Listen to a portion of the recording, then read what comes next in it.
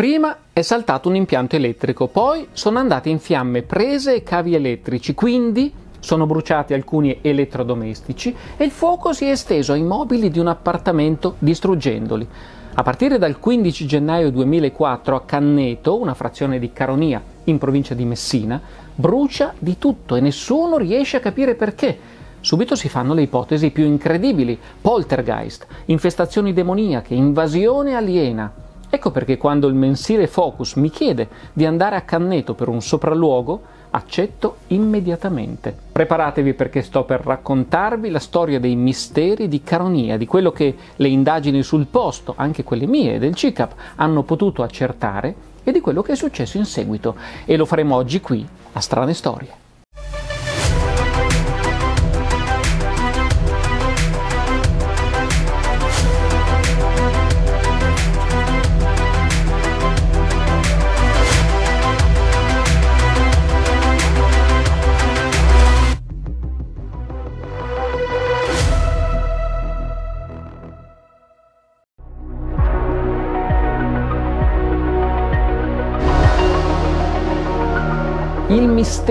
Mistero incendia Canneto, frazione di Caronia in provincia di Messina. Il 15 gennaio 2004 impianti elettrici ed elettrodomestici prendono fuoco per motivi che nessuno riesce a spiegarsi.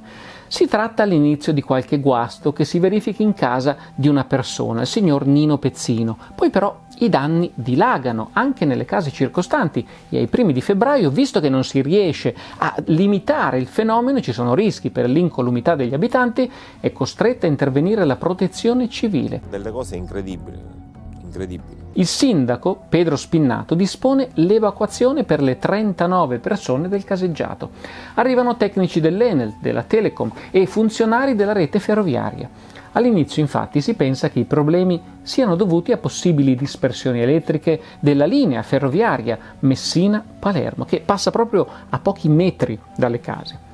Il 10 febbraio il caso scoppia sui media, prima nazionali, poi internazionali. Il mistero di Canneto di Caronia. Oggi sono arrivati i vulcanologi a Canneto di Caronia. Anche un team di psicologi per assistere la popolazione a Caronia. Ancora misure fra le case di Canneto. Inspiegabili incendi. Immediatamente i giornali parlano di fenomeni di autocombustione oppure fenomeni dovuti al geomagnetismo e alle reti di Hartmann, di poltergeist fino al satanismo e alla infestazione demoniaca come sostiene padre Amort.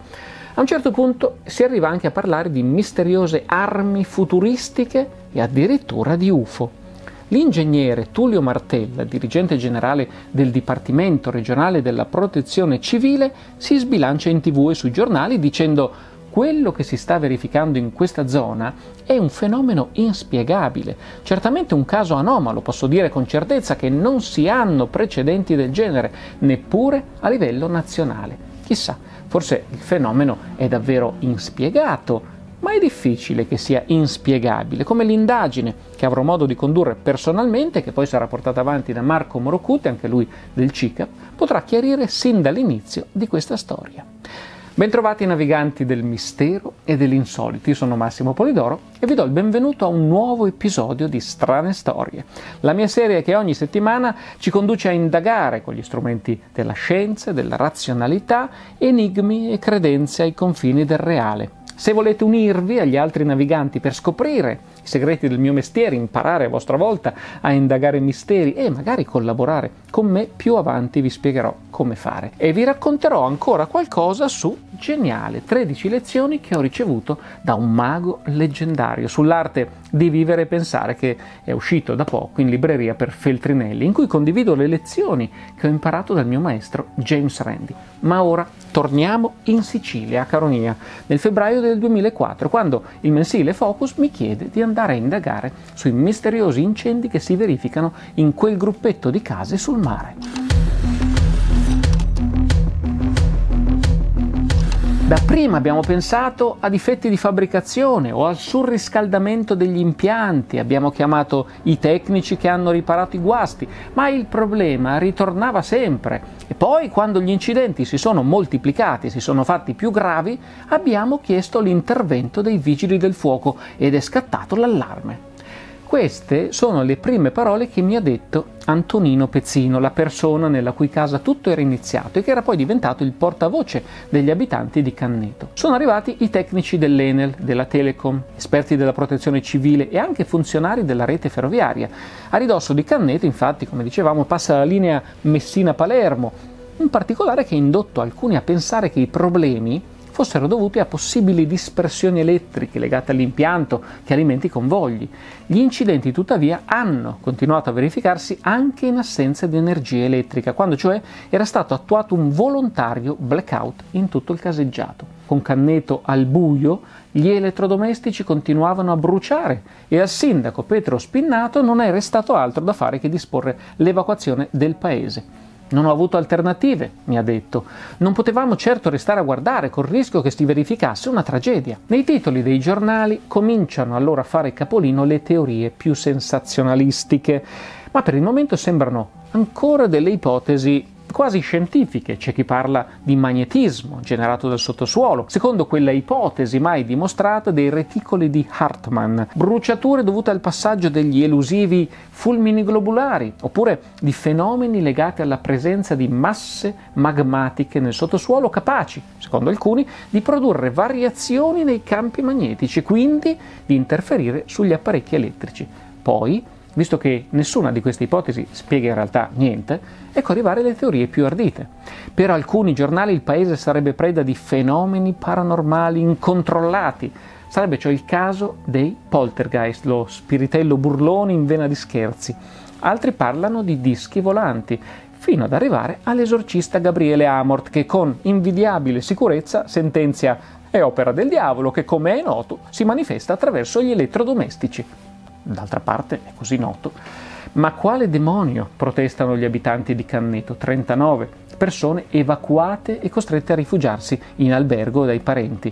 Noi non crediamo alle spiegazioni paranormali, chiediamo solo di sapere che cosa è successo nelle nostre case. Quando parlo con il parroco della chiesa dell'Annunziata, Antonio Cipriano, la risposta è identica quella satanica è un'ipotesi assurda, mi dice.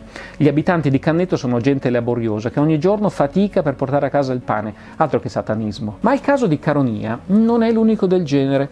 Anche in passato è successo qualcosa di simile. Nel 1984 nella sede romana dell'INAIL scoppiano incendi che bruciano carte, fotocopie e altro materiale. A Cesena nel 1988 dalla canonica di una chiesa partono incendi che non si sanno spiegare. A Milano nel 1990 nella casa di una famiglia scoppiano piccoli incendi e cadono i mobili. Si parla apertamente in questo caso di poltergeist. Stesso anno a San Gottardo, frazione di Zovencedo, provincia di Vicenza, si verificano fenomeni simili a quelli di Canneto, interruttori della luce bruciati, tende parasole liquefatte, persino una carrozzella in fiamme. Si parla anche qui apertamente di UFO e di extraterrestri. Ancora a Piacenza nel 1991 si verificano inspiegabili incendi che si pensa dipendano dagli strani poteri di una bambina. A Legnano nel 1998 presso lo studio di un commercialista si verificano strani fenomeni di combustione e si pensa a bizzarri effetti elettromagnetici. Come stanno le cose? Beh, in realtà in alcuni di questi casi, come a Milano, Piacenza o a Legnano, anche grazie all'intervento del CICAP, si è potuto indagare e scoprire che gli incendi avevano una natura dolosa. Nei primi due casi erano stati dei bambini che attraversando momenti difficili dell'adolescenza avevano inscenato gli incidenti per attirare su di sé l'attenzione. A Legnano invece la polizia poté accertare che si era trattato di sabotaggio da parte di un impiegato scontento. Un sabotaggio si sospettò anche nel caso dell'INAIL di Roma. Gli episodi di Zovencedo costituiscono quindi il caso più simile a quello di Caronia. Gli esperti chiamati in Sicilia però escludono ancora una volta le spiegazioni più assurde e si mettono al lavoro per capire che cosa stia realmente succedendo. Ho inviato alcuni vulcanologi, mi dice Enzo Boschi, presidente dell'Istituto Nazionale di Geofisica e Vulcanologia, a fare misurazioni tecniche su eventuali movimenti magmatici in profondità, ma non si è trovata alcuna indicazione sulla possibile influenza vulcanica e sismica. Se davvero si trattasse di un'attività vulcanica, l'effetto non sarebbe solo la bruciatura di qualche filo elettrico. Quanto al campo magnetico terrestre, è troppo debole per generare fughe elettriche così importanti.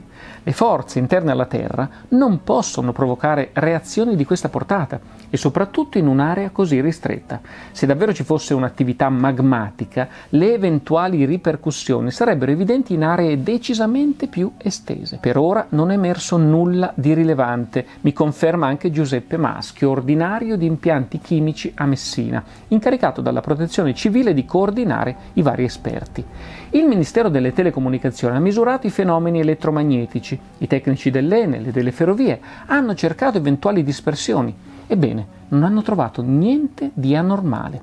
Si è anche proceduto a un controllo del campo magnetico a bassa frequenza e a misure del campo magnetico a ridosso della linea ferroviaria, ma non si sono riscontrate alterazioni sostanziali nei parametri misurati. I carabinieri del NOE, il nucleo operativo ecologico, hanno inoltre compiuto una serie di rilevamenti che hanno permesso di escludere anche eventuali tracce di radioattività. E allora, da cosa dipenderebbero i vari episodi registrati nella zona?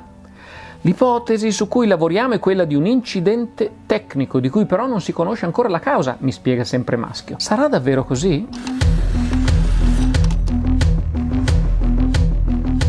Dall'incidente tecnico all'impianto fatto male all'intervento umano il passo è breve. Personalmente mi sembra tutto molto strano, mi dice ancora Boschi. L'area è talmente ristretta che diventa difficile pensare a fenomeni naturali. Non escludo quindi che dietro possa esserci un fatto doloso. Mi limito a sottolineare un dato oggettivo. Da quando è stato sgombrato il paese non risulta più alcun fatto straordinario. Quando chiedo di poter vedere più da vicino, il responsabile locale della protezione civile mi accompagna all'interno della zona evacuata e mi viene data la possibilità di esaminare gli oggetti bruciati, i cavi e le prese di corrente. La cosa strana che si nota subito è che il calore ha annerito e bruciacchiato solo l'esterno di questi oggetti, lasciando intatta per esempio la guaina protettiva e i fili di rame all'interno dei cavi. Tutte le bruciature poi si trovano ad altezza d'uomo e si trovano sempre nella parte inferiore degli oggetti, quasi come se i fili fossero stati scaldati da sotto.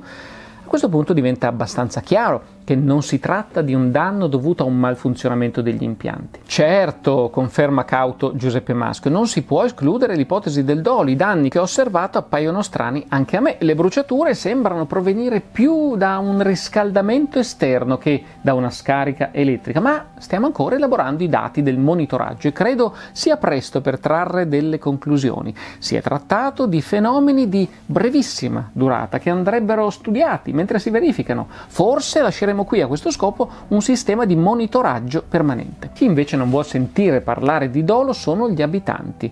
Qualche episodio è sembrato strano anche a noi, mi dice Pezzino, come la storia di quella sedia che sarebbe bruciata da sola. Facile che quel fenomeno fosse simulato, ma il resto è tutto vero e per tutelarci da questa illazione abbiamo nominato un avvocato e chiesto l'intervento del procuratore della Repubblica.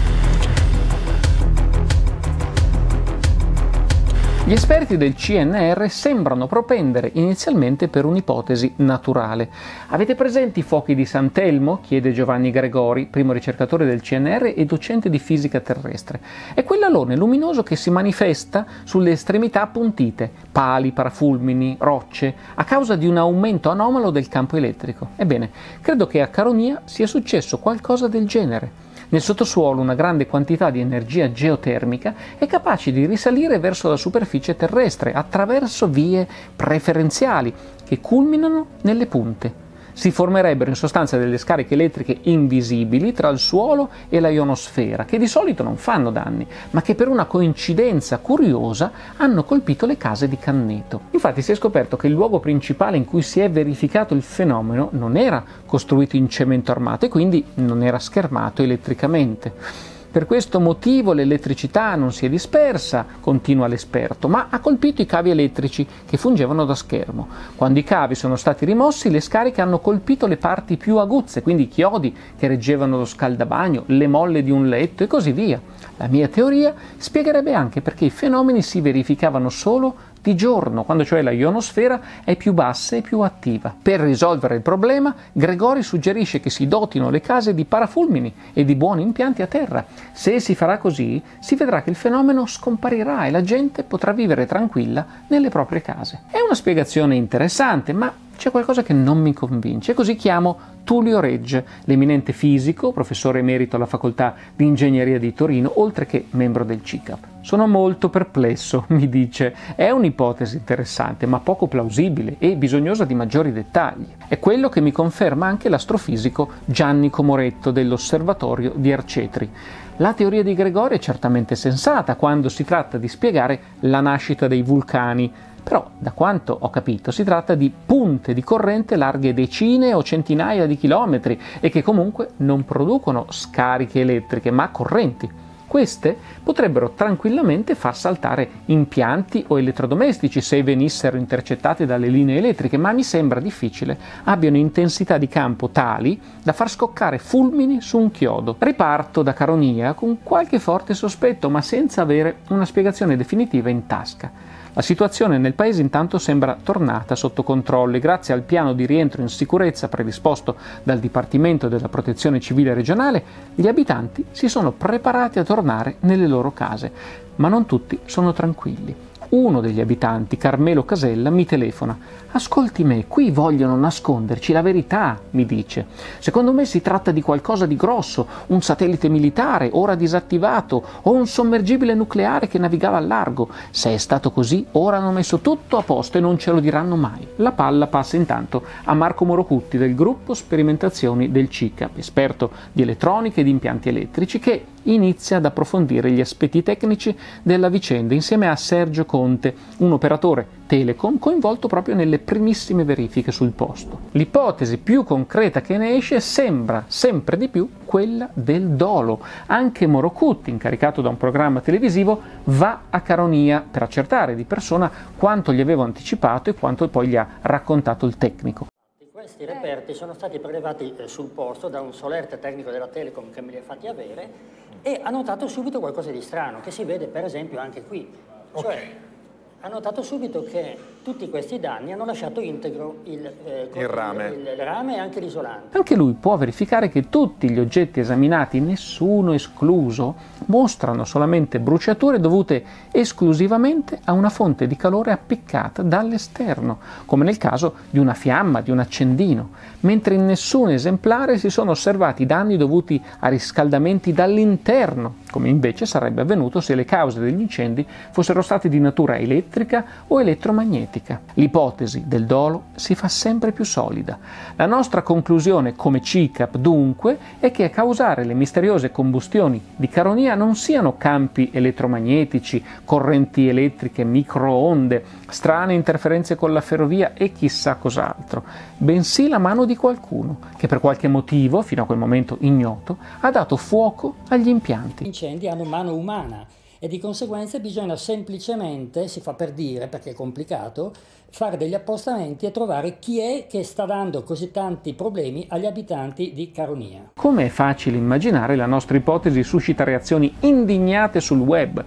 In pratica gli abitanti di Caronia sarebbero dei piromani talmente malati che dal 2004 si dilettano a bruciare e ricostruire le proprie stesse case e lo stesso Nino Pezzino, alla domanda di un giornalista che gli chiedeva se potevano esserci degli interessi da parte di qualcuno ad appiccare gli incendi, aveva ironicamente risposto: Sì, certo, come no, per mesi siamo stati al buio, il valore commerciale delle case è colato a picco. Capisco perché queste persone, questi anziani, io e gli altri dovremmo incendiare le nostre case. Quello che ancora non si sa però è che a indagare non è solo il CICAP, ma anche la magistratura.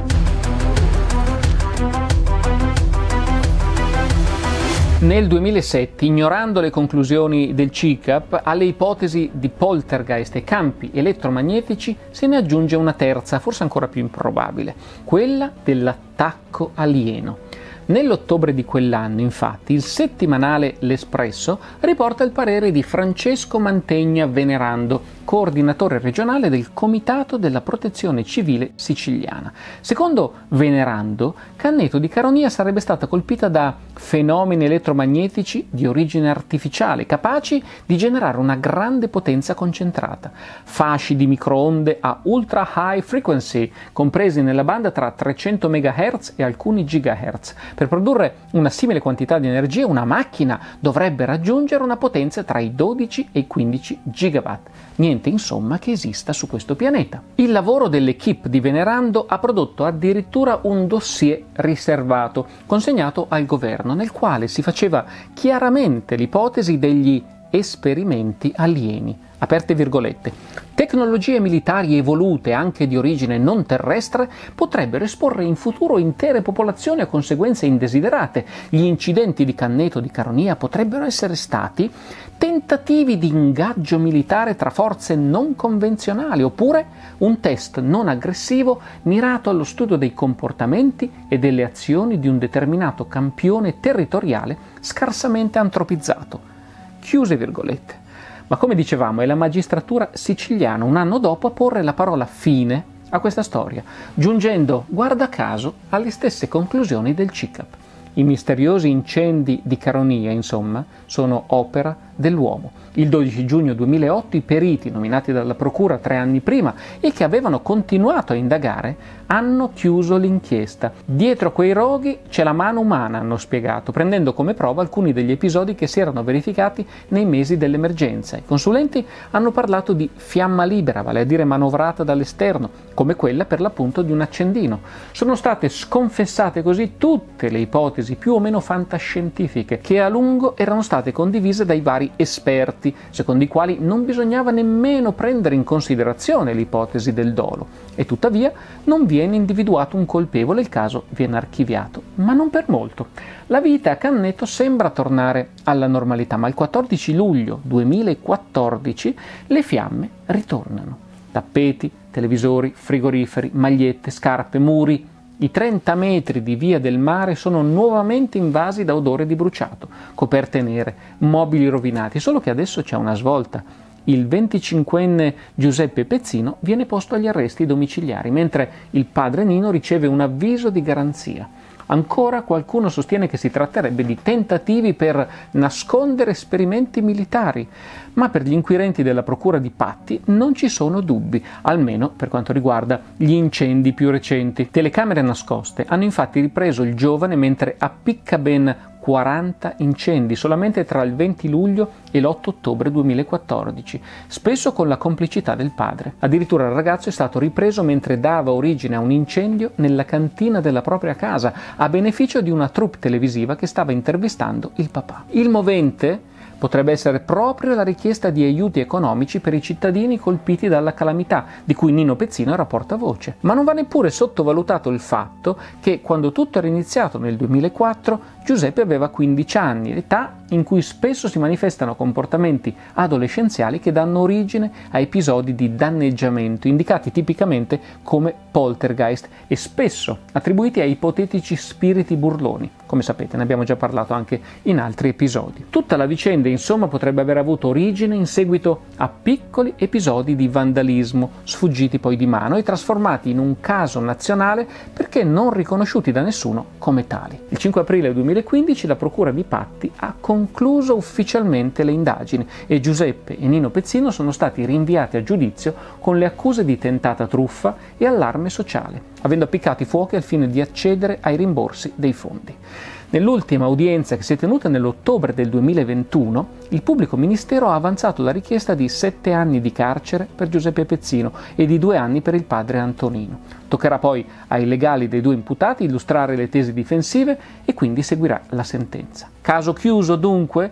Mm, per chi vede misteri e complotti ovunque, Assolutamente no. Anche nel caso in cui si riuscisse a stabilire con certezza che padre e figlio furono fuori di dubbio i responsabili dei fatti del 2014, questo non dimostrerebbe automaticamente che anche gli episodi iniziali del 2004 furono provocati dagli stessi protagonisti. Ma tutti gli indizi confermano comunque che anche quella volta dietro gli incendi c'era stata la mano umana. E ancora una volta si dimostra valido l'assunto di Sherlock Holmes, secondo cui prima di immaginare fantasmi o spiegazioni sovrannaturali per spiegare un fatto misterioso, occorre tenere i piedi ben saldi per terra e cercare di verificare prima ogni spiegazione razionale. Ed è proprio quello che anche a Caronia alla fine è stato fatto. Io vi ringrazio di avermi accompagnato nell'indagine su questa vicenda che tanto aveva fatto parlare di sé nel nostro paese e non solo. Ringrazio i naviganti che sbarcano sulla mia pagina Patreon, la mia isola del mistero, dove condivido molti contenuti esclusivi dietro le quinte del mio lavoro e molto altro e grazie a questo sostegno è possibile realizzare questa serie e tutti i video che condivido gratuitamente qui sul mio canale. Potete leggere i loro nomi in coda a questo video e se verrete anche voi potrete leggere presto anche il vostro. Ringrazio anche chi arriva su TP e ci sta aiutando a costruire un giro di incontri per l'Italia con i naviganti. E per finire vi ricordo il mio nuovo libro, geniale, in cui racconto quello che il mio maestro James Randi mi ha insegnato. E tra le 13 lezioni sull'arte di vivere e pensare spiego anche perché dobbiamo abituarci a pensare come Sherlock Holmes. Uno degli aspetti che mi piace approfondire nel libro è quello di imparare a pensare in maniera razionale, un po' come appunto faceva Sherlock Holmes nelle sue indagini, suoi, eh, quando scopriva insomma, il colpevole di un delitto e lo faceva eh, non tanto con l'utilizzo di chissà quali strumentazioni scientifiche, che all'epoca ovviamente non c'erano nemmeno, ma utilizzando soprattutto il cervello e la sua capacità di ragionamento. Quindi gli strumenti logici di ragionamento, di verifica delle affermazioni, affermazioni, svilupparli ecco, è qualcosa che tutti noi eh, dovremmo, eh, dovremmo, riuscire a fare, perché ormai viviamo in un ambiente informativo tale per cui siamo bombardati costantemente da notizie, da informazioni, non è facile sempre distinguere quali sono attendibili e quali non lo sono. Abituarsi a pensare in questa maniera che guarda le prove, guarda i fatti, anziché a quelle che sono le, le opinioni oppure le emozioni che ci scaldano ma che annebbiano le nostre capacità analitiche, è il modo migliore per non farsi abbindolare. Quindi l'attenzione attenzione a questo aspetto eh, percorre un po' tutto il libro. E dunque vi invito a leggerlo e spero che quello che ho imparato da Randy possa tornare utile anche a voi. Per ora ci fermiamo qui e ci ritroviamo lunedì nuovamente con la Stanza delle Meraviglie e con Strane Storie ci rivediamo venerdì prossimo. A presto. Lo sa, questa vicenda mi ricorda la storia della gallina. Ma quale storia? È quella della gallina che va dal veterinario. E allora? Beh, mentre lì che aspetta, la gallina fa l'uovo. Arriva il veterinario, li vede entrambi e chiede: Chi di voi due è arrivato prima? Capisce? No, ma ormai ci ho rinunciato, guardi.